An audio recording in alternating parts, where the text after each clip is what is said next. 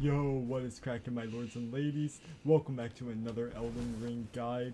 This is in the Shadows of the Erdtree, our second guide. We did the Milady, check that video out if you haven't already. But yeah, I'm going to teach you guys how to get the Great Katana in this video. And this is a weapon all to its own class. This is the Great Katana class. Pretty cool. It does come with the overhead stance weapon art.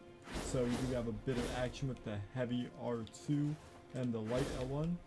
It has a pretty cool move set. Um, but yeah, let me teach you guys how to get it.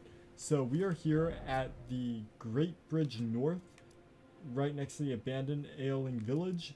From the start of the DLC, way back down in the Gravesite Plain, if you just make your way directly north, and then from the Rundown Traveler's Rest and the Ellac Bridge, Ellac Great Bridge, my bad, you make your way over here to the Great Bridge North Grace. We can actually go ahead and go directly to the left to go and grab it. Now the Great Sword you don't need to do any fighting for, but you guys might see right here there is a big, intimidating, scary Ghost Flame Dragon. Don't worry, you don't have to fight or kill him. Just right here on this here corpse is the Great Katana, and there you guys go. Um, we're gonna get out of here actually before he gets angry at us.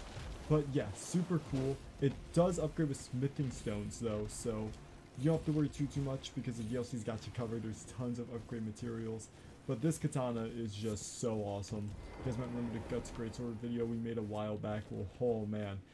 Thought a Greatsword was cool. Wait until you see the Great Katana. But there you guys go. That is how to get the Great Katana in Elden Ring Shadow of the Erdtree DLC. If you guys enjoyed today's video, make sure to leave a like, subscribe with the notification bell for more Elden Ring content, and check out the playlist on your way out. Thank you guys so much for watching this video, and peace.